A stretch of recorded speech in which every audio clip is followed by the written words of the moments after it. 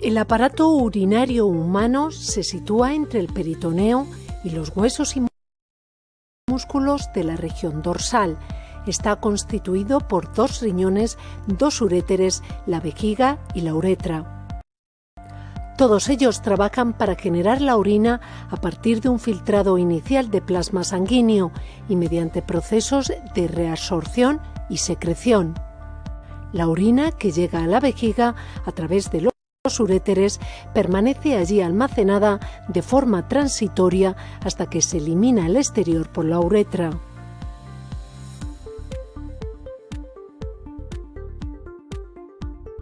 Los riñones son dos órganos de color pardo rojizo.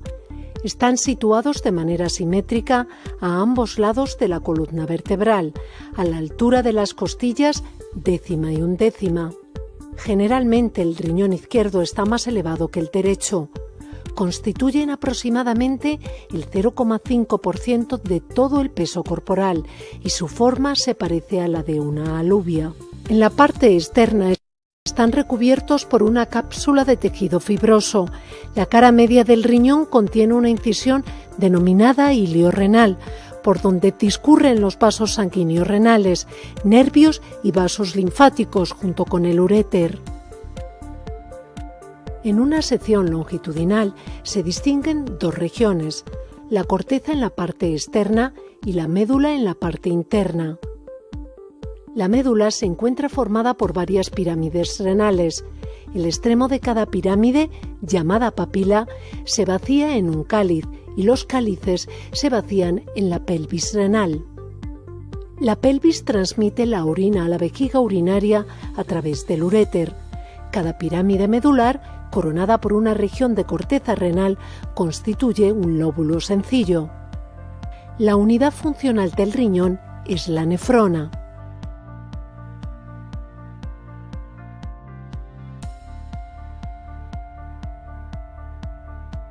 Riñón humano está formado por cerca de un millón y medio de nefronas.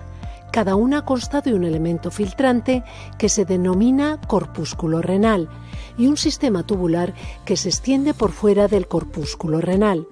Aquí se realizan los procesos de secreción y reabsorción, los procesos que determinarán la composición final de la orina.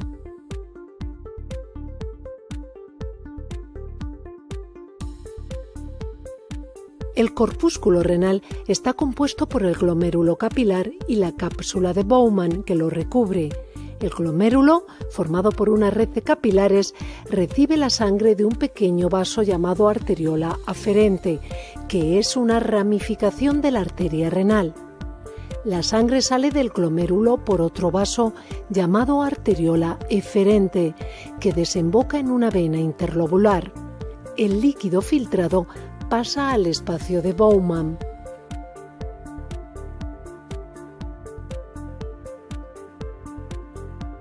A continuación del polo urinario de la cápsula de Bowman se encuentran los túbulos renales, que son el túbulo plosimal, el asa de Henle, el túbulo distal y el túbulo colector. La pared tubular está constituida por una sola capa de células epiteliales que descansan sobre una membrana basal. La estructura y función de esas células epiteliales varía mucho de un segmento a otro del túbulo, pero tienen una característica común, que es la presencia de uniones estrechas entre células adyacentes. El túbulo proximal es el segmento del túbulo donde drena la cápsula de Bowman. Inicialmente forma varias espiras y es el de mayor longitud y grosor de la nefrona. A continuación se encuentra el asa de Henle, que recibe este nombre por su forma de U. Consta de un segmento recto que desciende hacia la médula, la rama estrecha descendente del asa de Henle. Esta rama termina en la horquilla y entonces comienza un ascenso paralelo a la rama descendente. Seguido de este segmento se encuentra la rama gruesa ascendente del asa de Henle. Posteriormente encontramos el túbulo distal y por último el túbulo colector. Este es compartido por varias nefronas y vacía su contenido en los cálices de la pelvis renal.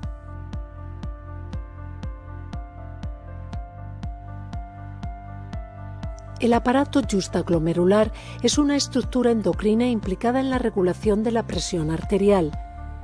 Se encuentra situado entre la primera porción del túbulo contorneado distal y las arteriolas aferente y eferente que pertenecen al corpúsculo renal de su propia nefrona. Está formado por tres tipos de células. Las células justaglomerulares son células mioepiteliales que rodean el final de la arteriola aferente. Las células de la mácula densa son células epiteliales diferenciadas de la pared del túbulo recto distal ascendente. Las células de Kurmatite o del lacis son células mesangiales que responden a múltiples mediadores y controlan la superficie del filtrado.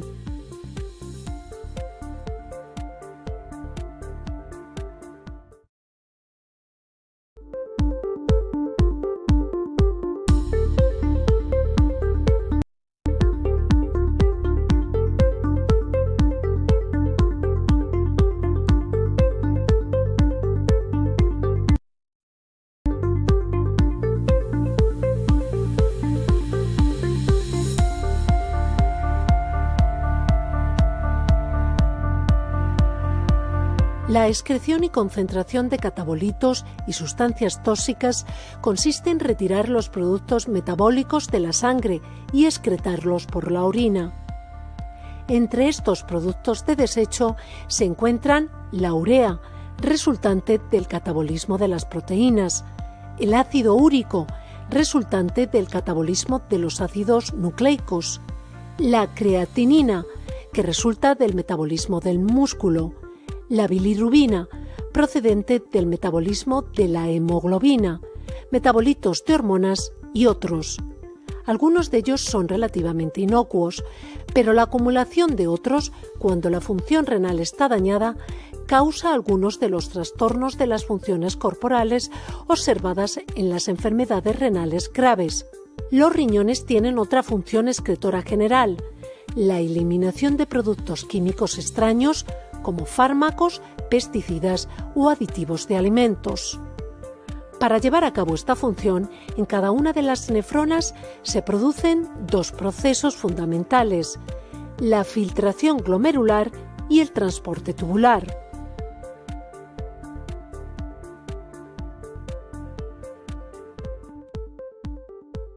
La formación de la orina comienza por la filtración del plasma en el glomérulo hacia la cápsula de Bowman. Se filtran unos 125 mililitros de plasma por minuto, lo que corresponde a un 20% del plasma que pasa por el riñón. Más del 95% del filtrado se reabsorbe normalmente en los túbulos y el resto se elimina en forma de orina. A pesar de su gran permeabilidad, la membrana glomerular tiene una cierta selectividad en función del diámetro, la configuración molecular y la carga eléctrica de las moléculas. Así, es prácticamente impermeable a las proteínas y elementos celulares, pero es muy permeable al resto de compuestos disueltos en el plasma. Desde el punto de vista electrolítico, el filtrado glomerular tiene casi la misma composición que el plasma, excepto por la ausencia de proteínas de alto y medio peso molecular. La tasa de filtración glomerular o cantidad de filtrado glomerular que se forma por minuto en todas las nefronas de ambos riñones es un índice de la función renal. Es además esencial para evaluar la severidad y evolución de los trastornos renales.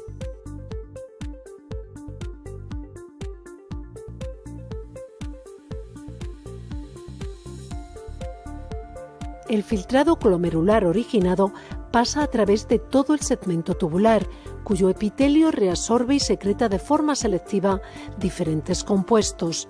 El líquido que resulta de este proceso entra en la pelvis renal como orina.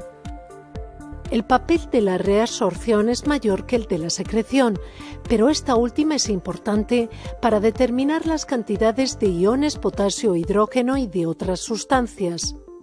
La mayoría de las sustancias que se deben eliminar de la sangre, como urea y creatinina, se reabsorben mal, por eso se excretan en grandes cantidades. En el caso de los fármacos, estos además de reabsorberse mal, también se secretan, por lo que su excreción es alta. Otros componentes del filtrado, como la glucosa y los aminoácidos, se reabsorben casi por completo. En el caso del agua, más del 90% de la cantidad que se ha filtrado posteriormente es reabsorbida, principalmente en el túbulo proximal y la rama descendente del asa de Henle.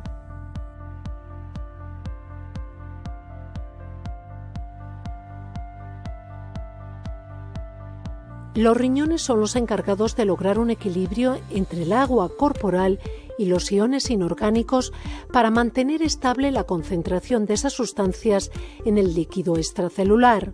Este equilibrio se logra mediante cambios en la composición de la orina excretada. Algunas de las sustancias del medio interno, reguladas en gran parte por los riñones, son el agua, sodio, potasio, cloro, calcio, magnesio, sulfato, fosfato y el ion hidrógeno. No obstante, los riñones no son los únicos reguladores de las sustancias inorgánicas esenciales.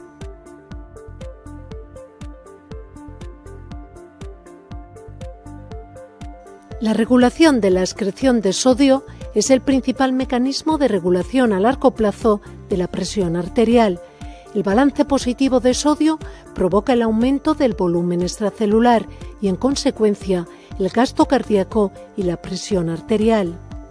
El riñón también es capaz de regular la presión arterial mediante un sistema hormonal llamado sistema renina-angiotensina. Las células del aparato justaglomerular segregan la renina, que actuará sobre el angiotensinógeno, originando angiotensina 1. Esta es convertida en angiotensina 2 por la enzima convertidora de angiotensina, ECA. Uno de los efectos de la angiotensina 2 es la liberación de aldosterona, que actuando sobre la nefrona regulan la presión arterial. Además, es muy probable que los riñones segreguen a la sangre o retiren de ella otras sustancias vasoactivas diferentes de la renina. Así pueden sintetizar varios icosanoides de acción vasodilatadora o vasoconstrictora.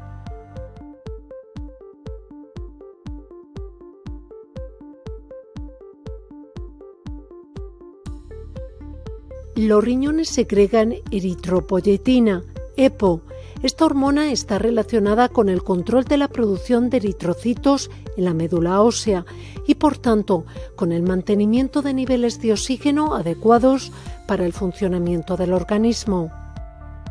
1,25 dihidroxivitamina D3, que es la forma activa de la vitamina D, la cual interviene en el metabolismo del calcio, aumentando la absorción del calcio intestinal y la movilización del calcio óseo glucosa que se sintetiza durante el ayuno prolongado a partir de aminoácidos y otros precursores, un proceso llamado gluconeogénesis. Eicosanoides, compuestos derivados del ácido araquidónico, entre los que se incluyen las prostaglandinas, la prostaciclina o los trombosanos. Entre sus funciones se encuentra controlar el flujo sanguíneo y el filtrado glomerular metalotioneínas. Son una familia de proteínas con afinidad a ciertos metales como el cadmio, el cobre y el zinc, participando en su homeostasis. El estrés, la inflamación o las intoxicaciones por algunos metales aumentan su síntesis.